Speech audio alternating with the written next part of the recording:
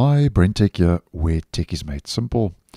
So, if you are using Google Gemini, which is Google's AI chatbot, I let you know at the end of last month that the Gemini 2 models were now available for everyone.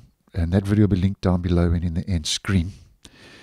And I did mention in that video, if we just pop over to that quickly over on YouTube, that when 2Flash, which helps you uh, everyday tasks, when it rolled out, Google had mentioned that the previous model, 1.5 Flash, was going to be removed over the next coming weeks. Now, just to let you know, and as you can see, if we just pop back into Gemini, that 1.5 Flash has been removed.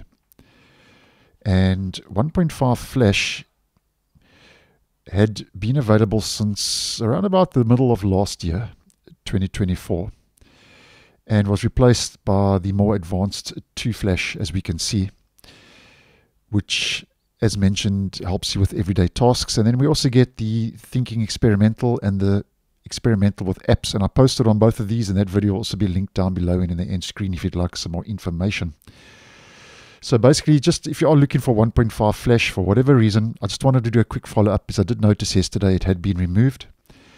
And 1.5 Gemini Flash has been removed now from Gemini following the stable launch of Flash 2 as Google had promised when 2 Flash did roll out at the end of last month.